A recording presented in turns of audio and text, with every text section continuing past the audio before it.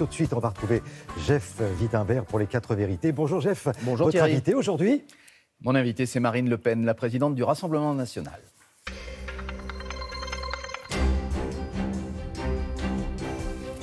Bonjour à vous, Marine Le Pen. Bonjour. Merci d'être avec nous ce matin. On l'a entendu dans le journal. Une soirée houleuse a eu hier euh, à l'Assemblée nationale au sujet de la révision euh, constitutionnelle. Mais vous, euh, ce qui vous met en colère aujourd'hui, c'est l'abandon par le gouvernement du projet de banque de la démocratie. Alors je rappelle ce que c'est. C'était une idée de François Bayrou euh, au départ qui visait à se substituer aux banques qui ne prêtent pas aux partis.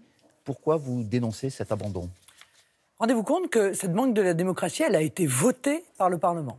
Et au détour euh, d'un débat euh, sur la révision constitutionnelle, la ministre de la Justice nous apprend que cette banque de la démocratie va être abandonnée. C'est extrêmement grave, d'abord dans la méthode, c'est extrêmement grave également dans les conséquences sur les partis politiques. Car aujourd'hui, les partis politiques sont entre les mains du système bancaire. Et les banques peuvent décider qui a le droit de se présenter, à qui elles vont prêter, et qui n'a pas le droit de se présenter, c'est-à-dire à qui elles ne prêteront pas. Cette banque de la démocratie, elle avait précisément vocation à éviter cette prise en main de la démocratie, euh, euh, otage en quelque sorte du système bancaire. Marine Le Pen, que répondez-vous à des députés comme euh, Daniel Fasquelle, par exemple, le trésorier du mouvement Les Républicains, qui dit que les partis, les banques plus exactement, prêtent aux partis qui sont sérieux et que des Français ne comprendraient pas que eux n'arrivent pas à obtenir un crédit, euh, parfois auprès de leur banque, et que les partis politiques euh, passent en quelque sorte par un autre chemin. Monsieur Fasquelle et euh, du parti Les Républicains, ils ont 55 millions d'euros de dettes. Et malgré ces 55 millions d'euros de dettes, eh bien, ils ont toujours été suivis par leur banque. Peut-être euh, ont-ils pris des engagements à l'égard du système bancaire européen. Ça n'est pas notre cas. Et euh, encore une fois, c'est d'autant plus grave que dans le même temps où on mettait en place la Banque de la démocratie, la contrepartie était la limitation drastique des moyens de financement des partis politiques. Aujourd'hui, on se retrouve avec un financement drastiquement limité et plus de banque de la démocratie. Mais si les banques traditionnelles ne vous prêtent pas au Rassemblement national, c'est que vous êtes euh, soumis en quelque sorte à de graves difficultés financières et notamment vous êtes soumis aujourd'hui euh, au risque de payer 2 millions d'euros euh, d'une saisie qui vous frappe parce que votre parti est suspecté d'avoir utilisé des fonds européens pour salarier des, des personnes ce du sont, Front National. ce sont deux problèmes différents.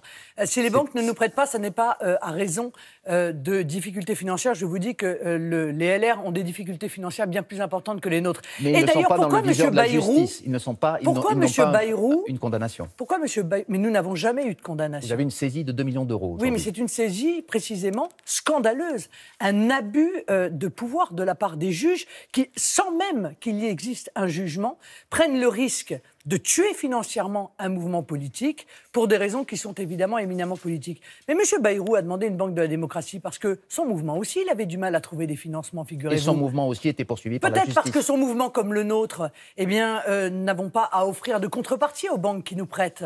Nous, nous serons toujours libres, libres de dire ce que nous pensons du comportement des banques, et nous avons beaucoup à dire sur ce sujet. Et nous ne vous souhaitons pas, encore une fois, être les otages des banques. Alors cette banque de la démocratie, j'espère qu'elle reviendra euh, dans le débat et que le gouvernement respectera en même temps sa promesse et puis après tout le vote de l'Assemblée nationale. Quel est le risque aujourd'hui pour le Front National financièrement? Le risque est majeur. C'est-à-dire? Euh, Nous avons ouvert euh, un, un appel aux dons. Euh, sur le site alertedémocratie.fr qui nous permet de gagner un mois, seulement un mois euh, de- d'oxygène en quelque sorte. Si la Chambre d'instruction qui se réunit le 6 confirme la Le 6 décision août, oui. inique des juges d'instruction, alors, eh bien, au mois de septembre, le Rassemblement national sera en cessation de paiement.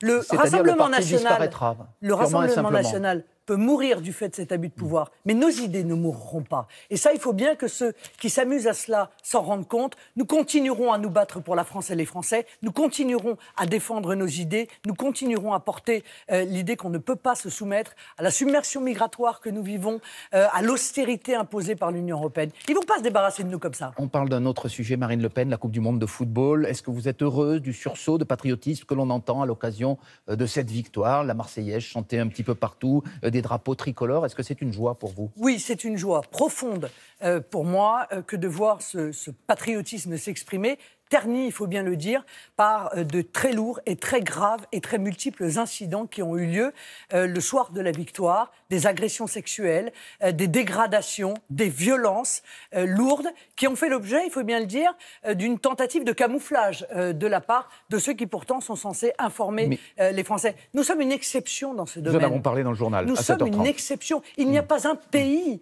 dans lequel des violences telles que celle-là se produisent. Alors est-ce que le gouvernement va réagir et mettre fin à euh, ces pillages et, à ces casses, cette casse systématique ça, j'en suis moins sûr. Est-ce que les joueurs, en tout cas, donnent une bonne image de la France, selon vous? Oui, ils donnent une bonne image. Lorsqu'ils disent qu'ils sont fiers euh, d'être français, fiers de la France et qu'ils brandissent le drapeau tricolore, eh bien, ils donnent une image très différente de ce qu'on a pu voir par le passé euh, venant euh, de l'ancienne équipe de France. Est-ce que cela peut aider au rapprochement des communautés, en tout cas à la baisse des tensions communautaires qui existent parfois dans, dans certains quartiers français, dans certains quartiers du pays? Bah, Écoutez, la preuve que non puisque, euh, encore une fois, on, s'aperçoit que des pillages et des violences euh, très graves pas forcément ont un problème de communauté. Alors, moi, je n'ai pas, je n'ai pas une vision raciale euh, des Français. Je défends l'intégralité des Français. je fais juste la différence entre les voyous et les racailles et les honnêtes gens. Et je défendrai toujours les honnêtes gens. Et en revanche, les voyous et les racailles ne doivent pas attendre de moi